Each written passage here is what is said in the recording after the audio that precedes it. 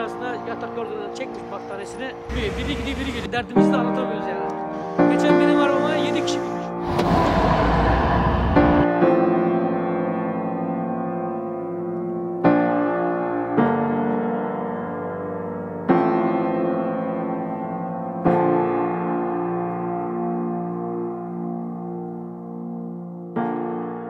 Adım Mesut, soy ismim Beroğlu. Şu an Macaristan'dayım.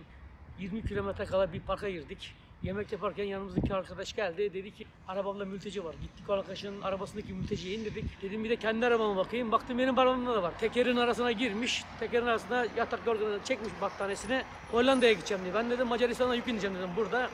Sonra bir şekilde arkadaşı indirdik. Bitmiyor. Biri gidiyor biri geliyor. Yani akşam oldu mu burada Macaristan'da artık son ülke. Kapı yok, sınır yok, bölge yok. Adamlar hala da biniyor.